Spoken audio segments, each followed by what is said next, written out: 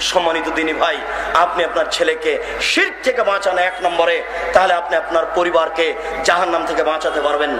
হাতের রাশি দেখে ভাগ্য পরীক্ষা করলে শির হয়।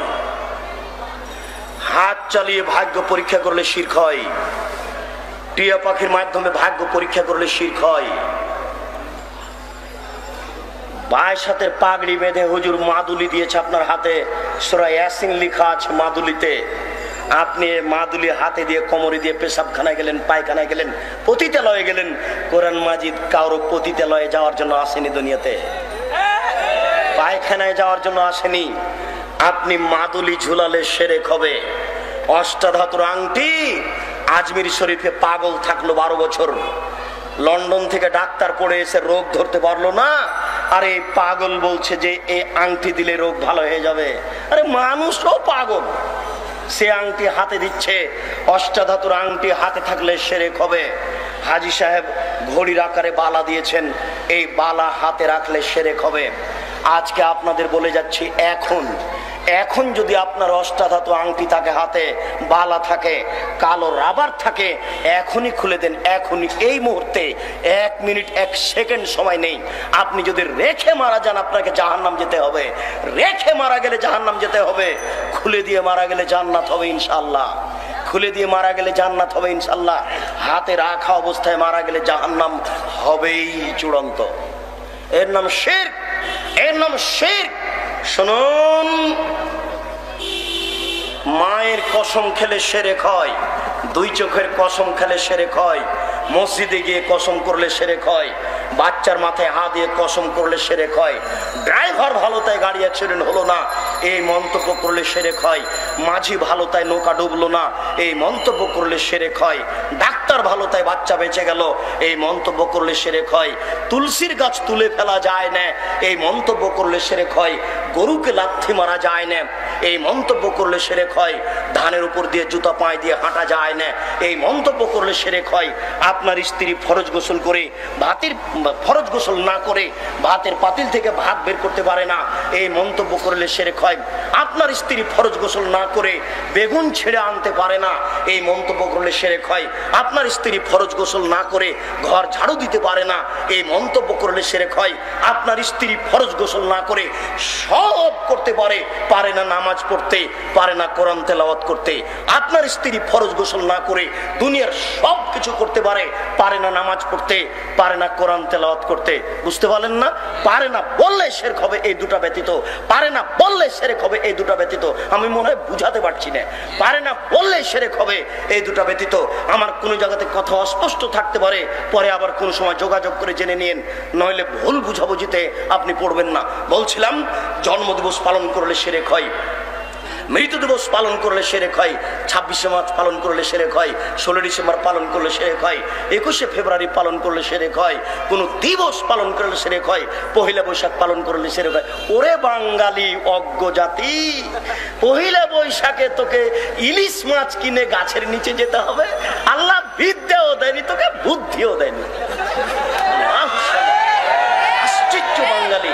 শুনুন মোহাম্মদ সাল্লাহ আলি সাল্লাম মক্কা থেকে মদিনে আসলেন। মোহাম্মদ সাল্লাহ সাল্লাম মক্কা থেকে মদিনে আসলেন। দেখলেন মদিনের লোকেরা দুই দিন খেলাধুলা করে। দেখলেন মদিনের লোকেরা দুই দিন খেলাধুলা করে। দেখলেন মদিনের লোকেরা দুই দিন খেলাধুলা করে। তিনি বলেন এই শোনো, তোমাদের এই দুদিন বাতিল। তোমাদের এই দুদিন বাতিল। তোমাদের এই দুদিন বাতিল। আমি মোহাম্মদ সাল্লাহ সাল্লাম দুই দিন দিচ্ছি। আমি মোহাম্মদ সাল্লাহ সাল্লাম দুই দিন দিচ্ছি। আনন্দ ফুর্তির একদিন হলো ঈদুল আজহা। আনন্দ ফুর্তির একদিন হলো ঈদুল ফিতর। মনে থাকবে না? আনন্দ ফুর্তির একদিন হলো ঈদুল আজহা আর একদিন হলো ঈদুল ফিতর। খাওয়া বেশি খান, দৌড়াদৌড়ি করেন, ফুর্তি করেন, তাসবি তাহালি করেন। হালাল যত কাজ আছে সব কিছু করেন, আজকে করেন আনন্দ করতেন নবী যদি বলতেন, এই মদিনার ছেলেরা শোনো, তোমাদের ছিল দুই দিন, আমি দিলাম দুই দিন। এই মদিনার ছেলেরা শোনো, তোমাদের ছিল দুই দিন, আমি দিলাম দুই দিন। দুয়ে দুলে হয়েও চার তাহলে এবার বাঙালি পেত ষোলো ডিসেম্বর এক পাঁচ, ছাব্বিশে মার্চ এক ছয়, একুশে ফেব্রুয়ারি এক সাত, বাপের জন্মদিবস এক আট, মায়ের জন্মদিবস এক নয়, পহিলা বৈশাখ এক দশ। এইভাবে করতে করতে সারা বছর চলে যেত, পড়া লাগতো না।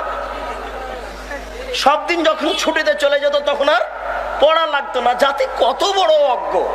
আশ্চর্য।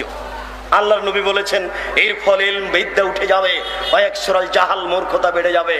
এই ছেলে তোমাকে বলছি, এই ছেলে তোমাকে বলছি, তুমি খুব সতেজ ব্রেনের ছেলে, মাস্টার ডিগ্রি পাস করে গ্রামের বাড়িতে গেছো।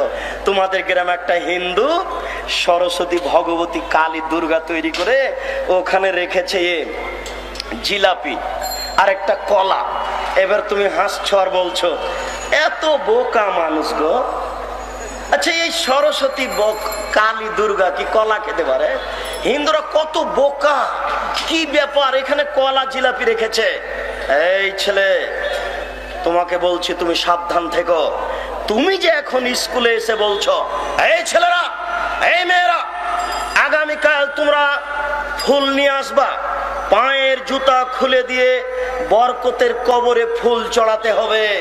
তোমার মাস্টার ডিগ্রিকে কবর দিতে এসেছি, তুমি মনে রেখো। তুমি বলো, সারা বাংলাদেশ কেন? সারা পৃথিবীর মানুষ যদি পায়ের জুতা খুলে দিয়ে এই বরকতের কবরে ফুল চড়ায়, তাহলে বরকতের এক পয়সা লাভ হবে নাকি? যদি না হয়, তুমি এ কাজ করলে কেন? তাহলে ওর সরস্বতী ভগবতীর কাছে কলা দেওয়া আর তোমার এই কবরে ফুল চড়ানো দুইটা সময় নয় কি?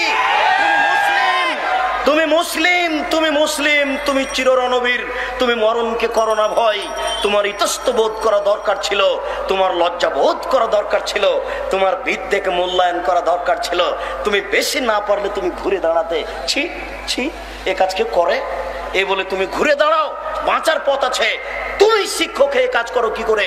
সারা পৃথিবীর মানুষ যদি পায়ের জুতা খুলে দিয়ে ফুল চড়াই বরকতের এক পয়সা উপকার করতে পারবে না। যদি সেদিন তুমি বলতে, এই ছেলেরা শোনো, তারা জীবন দিয়েছে, তারা রক্ত দিয়েছে, তোমরা একটু তার জন্য ক্ষমা চাও। তোমরা বলো, আল্লাহ এদেশের ভাষাকে টিকানোর জন্য বরকত জীবন দিয়েছে। তোমার দরবারে ক্ষমা ভিক্ষা চাচ্ছি। সে মানুষ, বরকত মানুষ, সালাম মানুষ, তার কোনো ভুল ত্রুটি থাকতে পারে। তোমাকে বলছি, দয়া করে তুমি তাকে ক্ষমা করো, দয়া করে তুমি তাকে ক্ষমা ক্ষমা করো। এটা একটু বলতে পারেন না?